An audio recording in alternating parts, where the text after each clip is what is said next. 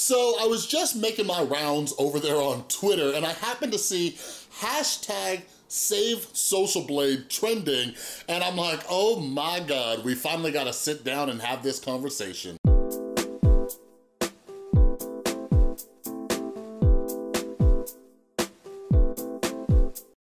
Is up, everybody? This is Chris from The Rewired Soul, where we talk about the problem, but focus on the solution. And if you're new to my channel, what I like to do is take a look at what's going on in the YouTube community or pop culture and try to see what lessons we can learn from them. So if you're into that stuff, make sure you subscribe and ring that notification bell. And in case you missed it, in case you missed the news, the podcast, A Different Lens, has officially launched. It is now available on Spotify. I just got the email that it is available on the Google podcast format, and it'll be up on iTunes in the next day or two or so. So down below, make sure you go follow it on Spotify if that's your preferred one. I will be uh, giving you all updates. So follow me on social media as well, at The Rewired Soul. And podcasts give me the opportunity to kind of dive deeper into different topics, not necessarily like about YouTube or pop culture or anything, but just kind of like life in general and philosophy and just kind of trying to look at things from different perspectives, all right? So getting back to hashtag save Social Blade. Some of you might be wondering like, why? Why are people trying to save Social Blade? Well, this is something that people have been talking about because YouTube just came out with news that they are changing the visibility of subscriber counts, okay? And what they're gonna be doing is they're basically going to like be rounding them. So when you see them, instead of it saying like, uh, you know, 15.3 million, it'll just say 15 million, right? Or it won't say like 15,366,432. It'll just say 15 million, all right? Now, a conversation's been happening between YouTube and then uh, third-party platforms like Social Blade, like how will that affect their API, okay? So not to get all tech nerdy on you, but a website like Social Blade is pulling data from YouTube for their website to run. And Social Blade is a place where YouTubers can check their own numbers, but anybody out there can go and check the numbers of different YouTubers, all right? There's a long and short of it. So it's going to affect it and people are freaking out. I see so many fellow creators on Twitter freaking out. I think PewDiePie said something, Keemstar said something, my boy Iron said something, and you guys, we have to have a conversation about how Social Blade is affecting your mental health. Not only is it affecting the mental health of creators, it's affecting the mental health of the audience. And like, I, I just tweeted about this too.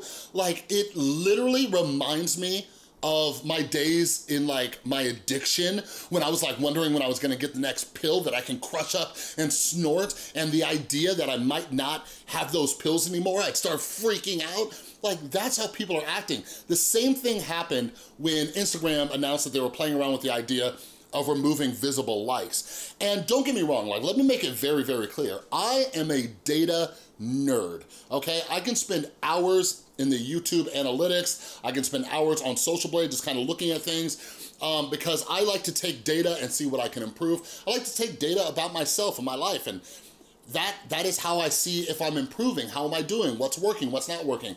So in that sense, I get it. I get it. But on the other hand too, like we have to face the reality that there's a lot of sick, twisted, toxic things going on with these numbers, okay? So one of the arguments that Social Blade has is talking about like the live subscriber count feeds, right? And it talks about the one between PewDiePie and T-Series, okay? Like, I get it, I get what they're saying there, but here's what I want you to think of of um, Social Blade as. Like Big Pharma, okay? Big Pharma knows they're creating drug addicts with things like opioids. Like, Social Blade ain't dumb. Like, most if not all major social media um, applications and things like that, they have people who are literally there to figure out ways to get you hooked on their platform, okay? And Social Blade is definitely one of them. They're trying to figure out ways to get you hooked on your plat on their platform. So like, I don't really like how they're like, well, we like to show the numbers and the competition. Like, I want everybody to sit back, sit back for one second and honestly answer this question. Aside from PewDiePie versus T-Series, when has there ever been a healthy subscriber count feed competition? Don't worry, I'll wait. You can't think of one, all right? Like when, when this was announced, it was right around the time of the, the recent drama with James Charles and Tati Westbrook and Jeffree Star, and this isn't new. This is not new, okay? Like when drama happens and people get quote unquote exposed, like people are watching the subscriber feeds like it's a freaking blood sport, okay? I made a video about this. I was talking about how like at one point, like when I went into the live subscriber count, there was like over 20,000 people just sitting there watching these numbers go. Just watching, I'm like, what are you doing? Like what is, what is happening?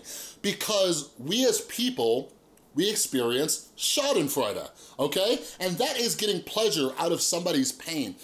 As a creator, I can tell you this, it's happened to me and I've seen it happen to many other creators. When people don't like you, they like to point out your flaws, right? And something they often do is they point out your subscriber numbers and they use that as kind of a, kind of a, a little jab to you, a little, a little knife stab, right? And that's what blows my mind about creators like, oh yeah, hashtag save Social Blade. Like, creators are in such a state of denial if they're not going to admit that things like Social Blade keep them in a state of anxiety, right? Like, you guys, something that I had to work on during my mental health break, something that other creators have talked about. Like, a lot of creators are sitting there refreshing their numbers. Like, I live in Las Vegas, so the best way I can kind of like, uh, uh, give you something to relate this to is somebody like mindlessly sitting in front of a, a slot machine or a video poker machine, just completely zoned out, just tapping and tapping and wasting life away, right? And people are doing this with their social blade numbers. They're just refreshing, refreshing, refreshing, refreshing, all right? And they're saying, did I go up? Did I go down? And when they go up, they get a little dopamine hit. When they go down, they feel a little bad about it. And it's crazy that people are, I, I don't know if they're unwilling to admit it or if they actually don't know that it's happening. Like I'm trying to sit back and think and understand, I'm like, okay, create your best argument for having Social Blade. Like create your best argument, okay? My best argument is it keeps a pretty, a pretty long um, track of somebody's growth and different statistics and everything like that. But if I'm being honest with you, the YouTube analytics backend does the same exact thing, all right? The only difference that I see is that Social Blade keeps its live subscriber count, okay? Now, something else that Social Blade tried to argue is we like to celebrate milestones. We love to celebrate milestones. Like, get the hell out of here with that nonsense. Like, I find that so funny. Like, it's silly for anybody to sit back and believe like Social Blade, like the, the board members of Social Blade or the creators of Social Blade, they're like, you know what? We need to create a website that, um, you know, really highlights people's milestones no, Social Blade knows that people are getting addicted to this. And when I see my fellow creators like freaking out about this and trying to make up excuses as to why this thing should exist, I'm absolutely blown away. It reminds me of like an alcoholic who gives you every every excuse on earth, like why they need to go to a bar. Like, no, no, no, I don't wanna go to the bar to drink. They just, they just have the best, they just have the best chicken wings in town. You know what I mean? Like, think about that for a second. And I'm more than happy. I am more than happy to hear from all of you down in the comments below. If you wanna present me with your best arguments as to why Social Blade should exist. But here's the thing. For as much as people try to throw Social Blade numbers in people's faces and everything like that, but anybody who's been around here for, eh, the last two months, based on Social Blade, I've lost a ton of subscribers. The reality is, I've gained more subscribers, more new subscribers, than a lot of people, okay? I was cautionary to even mention that in this video, but this is something that I realized was that Social Blade was affecting my mental health and, and people aren't even seeing the full story with Social Blade. You know what I mean? So aside from Social Blade just creating something where people can watch it like it's a blood sport, keep creators addicted to it, I really don't see the point in why should it why it should exist.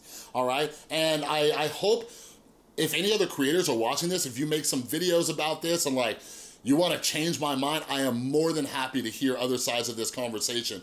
But from my relationship with myself and Social Blade, and my relationship with other creators, my relationship with seeing how the community uses Social Blade, I can't think of too many positive aspects of Social Blade. So with all these changes happening right now, I'm not I'm not really worried about it. I think it'll actually help a lot of people, and a lot of people don't realize how much their anxiety will be reduced, how much their depression will be reduced if they cannot keep obsessing over their numbers. Because at the end of the day, if you are basing your self-worth on those numbers, there are much bigger issues that you need to address, baby girl, all right? But anyways, that's all I got for this video. If you like this video, please give it a thumbs up. If you're new, make sure you subscribe and ring that notification bell because I make a ton of videos. And a huge, huge thank you to everybody supporting the channel over on Patreon. You're all amazing. And if you'd like to become a patron, get your name up in the credits, get access to our monthly Q&A and some other perks and benefits, click or tap right there. And don't forget to check out the podcast, link down in the description. Thanks again for watching. I'll see you next time.